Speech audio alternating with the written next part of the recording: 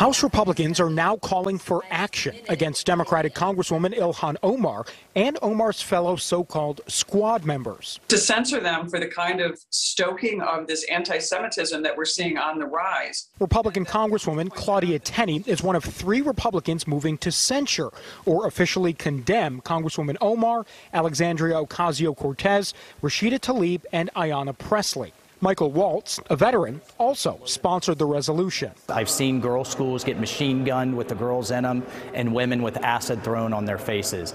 Those are atrocities. Uh, and to say that the United States or Israel has done anything even approaching that is offensive. Calls to condemn Omar began last week when she asked Secretary of State Antony Blinken about international investigations of war crimes that named the U.S., Israel, Hamas, and the Taliban. Where do we think the victims of these supposed uh, crimes can go for justice? Omar then tweeted that the U.S. and Israel, along with Hamas and the Taliban, all committed atrocities. Lumping them together drew strong rebukes from both parties.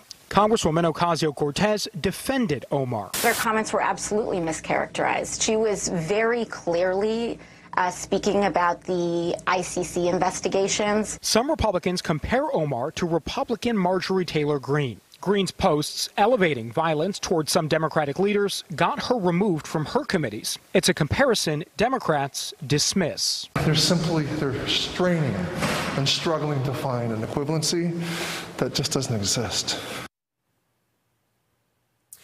So this resolution itself, important to remember, may very well likely not even come up for a vote. And even if it did, it's just a public condemnation. It doesn't have any teeth to it. But we are hearing that the top Republican in the House, Kevin McCarthy, may introduce another resolution uh, that, if passed would actually strip uh, Congresswoman Ilhan Omar of her committee assignments. Of course, he would need some Democrat support on that. So uh, Democrats control the House. They have the majority. That may not be likely, but it would be a moment where Kevin McCarthy could at least get Democrats on the record uh, as having voted the way that they did on uh, that resolution. Rob, Marni? Joe, you mentioned those comparisons with Republican Congresswoman Marjorie Taylor Greene. I understand she just held a press conference just a short time ago apologizing for some comments that she recently made. Um, elaborate on that, please.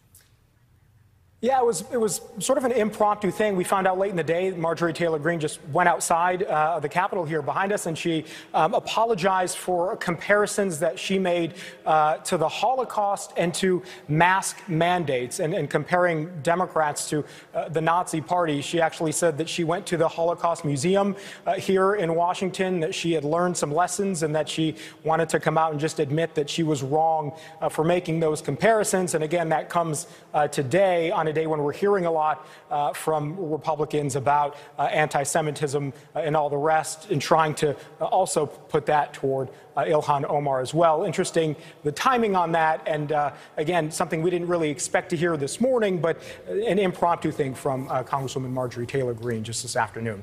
All right, Joe Khalil in D.C. tonight. Joe, thank you.